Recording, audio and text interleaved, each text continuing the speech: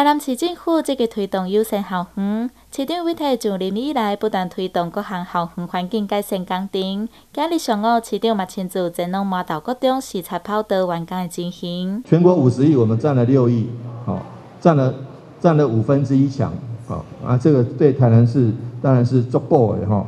然后我们也没让教育部落亏，我们完工的数量全国最多，而且年底前都会全部完工，好那。另外有遗珠之憾的哈，没有弄到的，我们是四款哈，四预算把它补起来。当然最重要的是八十六个，我们四预算也做了三个。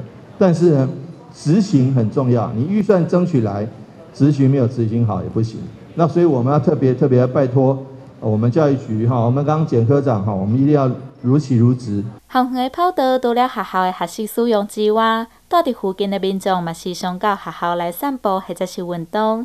市府积极争取教育部的补助，全市有八十六校办理整建作业，学师生甲民众有质素的运动环境。我想台南市呢，这个有两百八十一所那个学校哈，那其中小型的学校大概就有占了四十七 percent，啊，所以在呃整个跑道的使用上面呢，因为我们是全面对社区开放。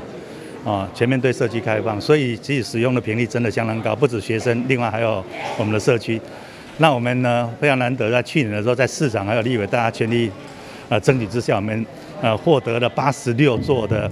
呃，操场的整建，那总金额达到六点一四亿。我想这样的一个建设金，我们全力以赴啊，希望能够在年底之前全面能够完成。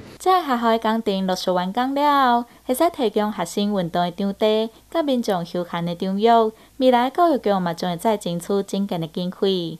南天新闻台线马到采访报道。